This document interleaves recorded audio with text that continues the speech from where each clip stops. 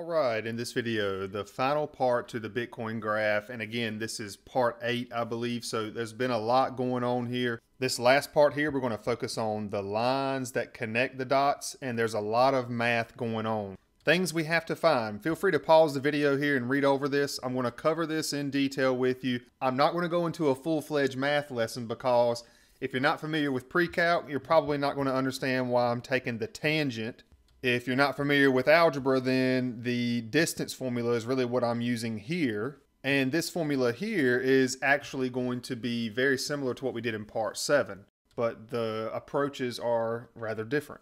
I mean, I want you to think about really what's going on here. These lines can change length. I mean, look how long that line is versus these other three lines. And that's because the price difference between P3 and P4, there's a bigger difference between those two prices than say, you know, P3 and P2, P2 and P1. Not only that, you have to take into consideration that the line can slope down like these two or the line can slope up. And this is all changing dynamically based off the prices that we get from the API. So I do hope you can just kind of think, wow, there is a lot going on here to make this work the way it works. Now let's think about the things that we really want to see happen here. First of all, we got to determine, I'm gonna focus on the P3, P4 since that's a big difference between them. And I have a P3 and P4 in all of these codes, these functions or formulas or whatever you want to call them. You can see a lot of those P3s and P4s. Those will need to change depending on what line uh, you're using to connect two dots. Like this line right here would be my P2, P3 line, that one right there.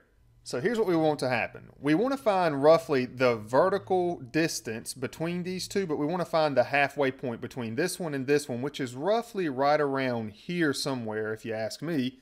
That looks from there up to there is roughly the same vertical distance as from here down to here to match these two dots. So somewhere around there. That's where we want to position a rectangle. Then we want to find the distance between these two dots, which is going to end up being the length of this line. Then we have to find the angle. That's the methods that I'm using over here to get all this to work. I'm finding the vertical distance between them, finding that halfway point. I'm using the distance formula to find the length of the line, and then I'm going to rotate that line to get a certain angle. The test graph for Bitcoin, this is a component in my free components folder over in its globals. Now, I could add more globals here, but there's already a bunch. And the last pieces we have to look at are the P5, P4, TB, P4, P3, TB, P3, P2, TB, and P2, P1, TB. Basically, these are all the same with the exception of the P5, P4, P3, P4, whatever. As you can see, those are changing inside of there.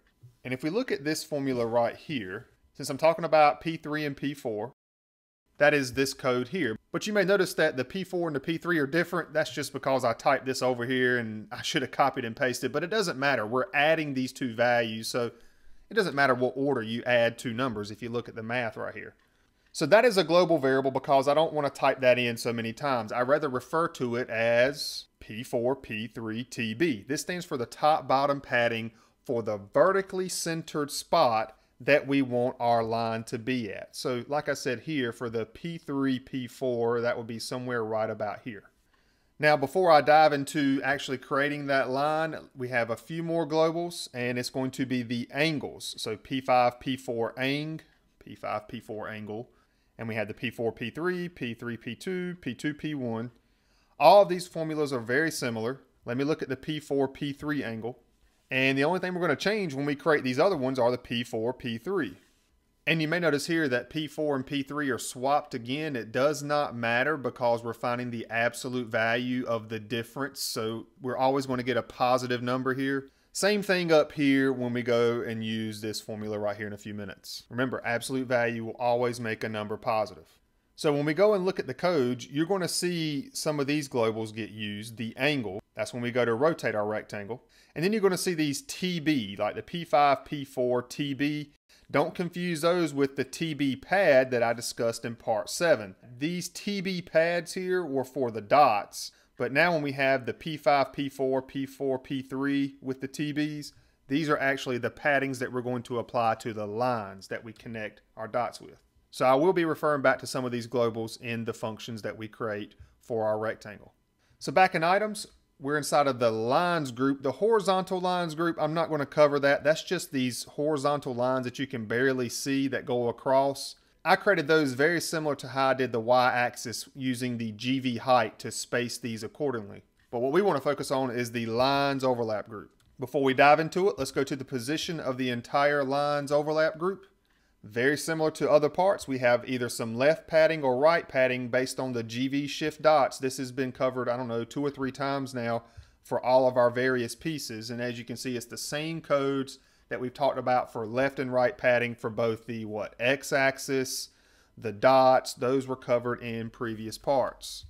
So now looking at the items in our lines overlap group, let's go to the P4, P3. And that is going to be, I'm just going to take the paint, I'm going to knock that color off that paint, and I'm going to make it red. So now you can see the line that we're focusing on. This is the one I'm going to focus on in this tutorial, and then once I get the idea across to you, I'll point out some differences to get these to work. And really the only thing we're going to change is the P5, P4, P4, P3 or whatever. And then we have to be careful with our horizontal padding for left or right padding. So let's go over to the position for this red line. Now we want to apply some right padding. That's going to take this line and move it over to the left. If I take the right padding away, now I have no right padding. Therefore, this needs to be pushed to the left and the distance that we want to push it is not one whole padding. You may think, oh yeah, we've done that in previous videos. Well, from here all the way over here, this horizontal distance here, there to there, that is a whole padding. We want to go half a padding. So you can take GV pad times 0.5. You could take GV pad divided by 2. You could take GV pad times 1 half. It does not matter. All right. Now, top padding, bottom padding. We have to apply codes to both of these because it depends on how the halfway point between this price and this price. So let's take the two prices, we add them together, that's what you see right there, then we divide it by two. That's going to represent the halfway point in between these two prices. Well, we have to ask ourselves, how does that halfway point between this price and this price, how does it compare to the actual GV half that we've talked about in previous videos? I know that's a little bit hard to see, but that's what I'm talking about. Well, if you look at this price and this price, if we were to add these two together and divide it by two, the halfway point would fall somewhere in here. Well, that is below this GV half of 67.44, so we want to apply some top padding to move this thing down, and that's exactly what we have going on. Notice I do have some top padding going on. Let's look at the code. If GV half is greater than the halfway point of our prices, so we take P4 plus P3, we divide it by 2, that's the halfway point between these two prices, now, if GV half is greater than that, then we want to apply some top padding. There's our GV P4 P3 TB. This is the top or bottom padding, and we do want to apply that since our GV half is greater than the halfway point between P4 and P3. If it's not, we don't want to apply any top padding at all. But as you can see, we are returning a number, and it's this global here that I discussed, which is pretty much this guy right here.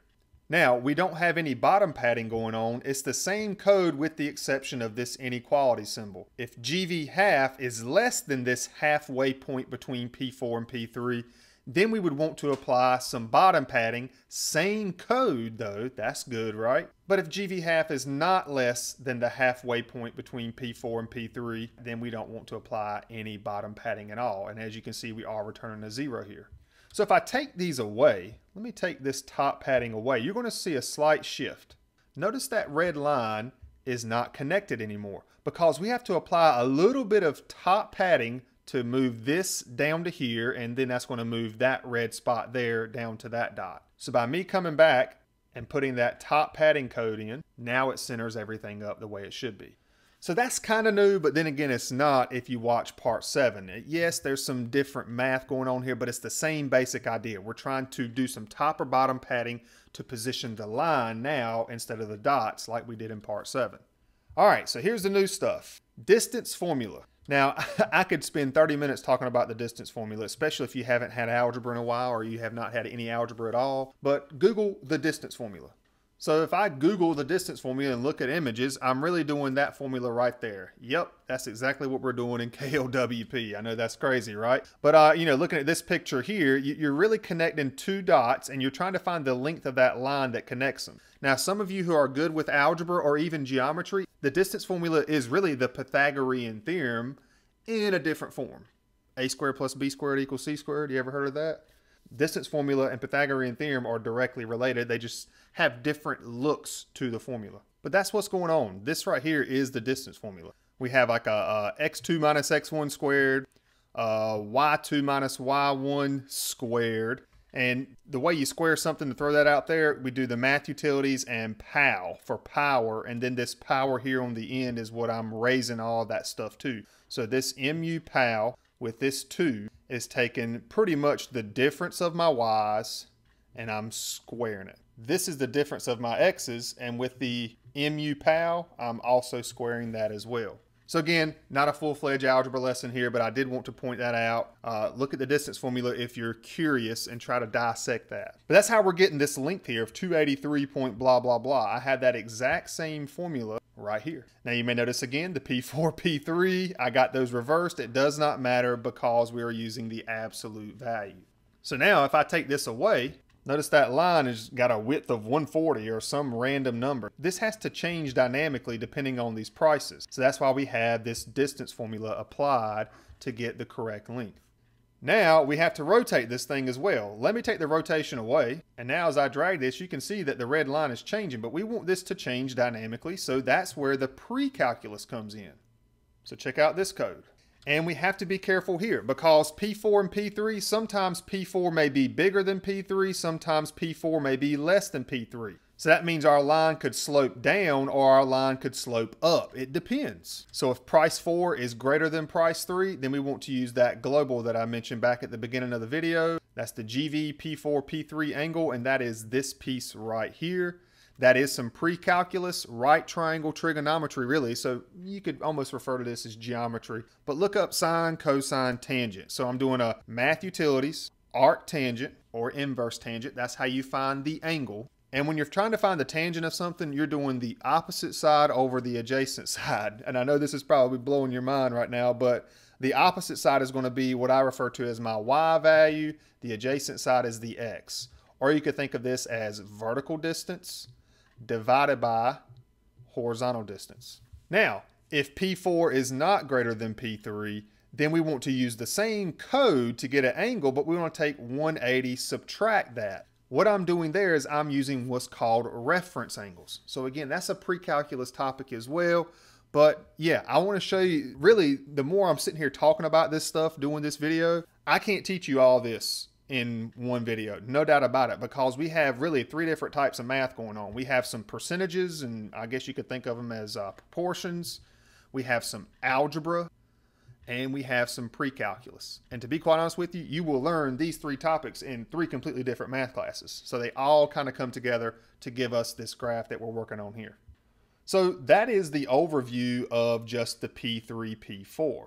Now some things to point out, let's go to the P4, P5. That's going to be this shorter one right here. And to show you that, I'm gonna take away the paint and I'm gonna set this one to blue. So that one there, some of the main differences, just to point it out, if I go over to position, this still has some right padding, but it's not two paddings, it's one and a half paddings. This right here, so GV pad times 1.5 is going to position this center, the center of this rectangle or this line, it's going to position it right in between this P5 and this P4.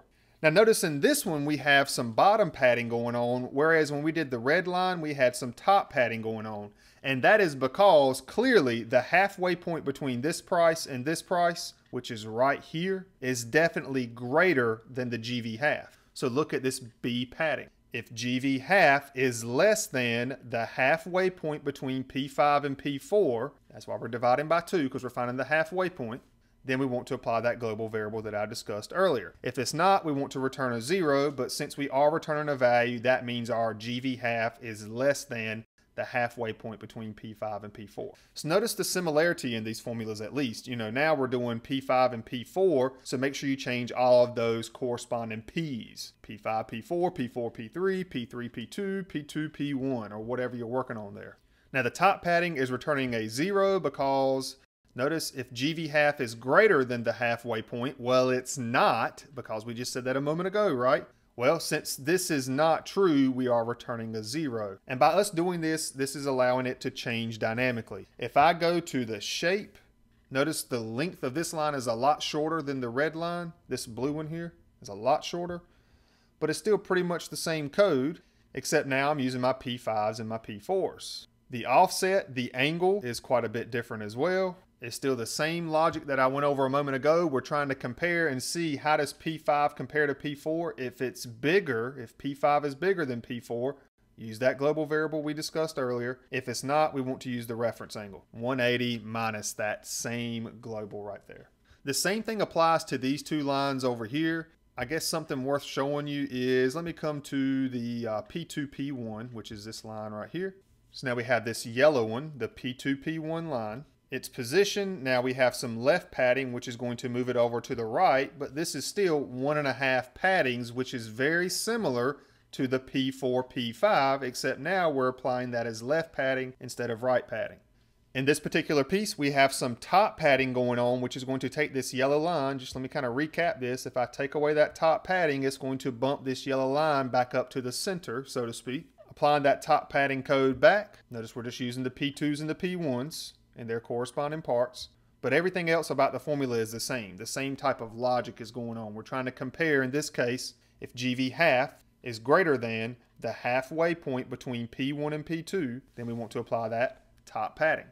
So we do have some top padding there. The bottom padding is zero since this right here is not true. GV half is not less than the halfway point between P1 and P2. And to kind of round things out, that's the same distance formula. Pause the video, check it out. The only thing I'm changing there are the P2s and P1s now. But what I want you to notice now is that we are actually applying the 180 minus this piece. Because now it says if P2 is greater than P1, then we would want to use this global. Well, let's look at that. P2 is not greater than P1. Let me take away this code. So if I start rotating this thing,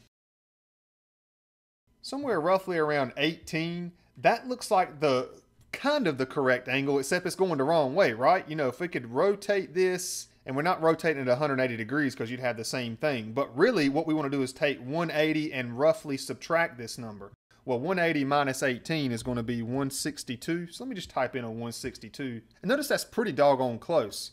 By me using this code here, that's what's doing all of the math for us. And this right here is exactly what I was just talking about. 180 minus that angle. I guarantee you, if we go look at the P2, P1 angle, it's probably going to be somewhere around 16, 17, 18 degrees. Let's go look at that real quick over in globals. So there's our P2, P1 angle, the one I was just talking about. And look, it's 17 degrees. We don't want to do 17 degrees because that was going the wrong way. That was sloping it down. Whereas here we wanted to slope this line up. So we did the reference angle 180 minus that. So yeah, maybe I can motivate some of you to uh, look back into your algebra textbooks. Maybe not. I don't know. Uh, pre-calc books, right triangle trig, distance formula looking at proportions or percentages. I mean, there's a lot of math going on here. I hope you see how this does work nicely, but it does take a little bit of grunt work to get it to look and work the way it should.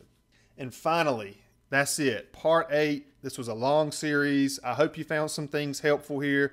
And really, this is probably uh, one of the most involved things I've done since I've been working with KLWP in terms of me creating it, the ways that we can customize it, and also the level of detail I've tried to go into in explaining all this stuff. And that's it for this video. I hope it helped.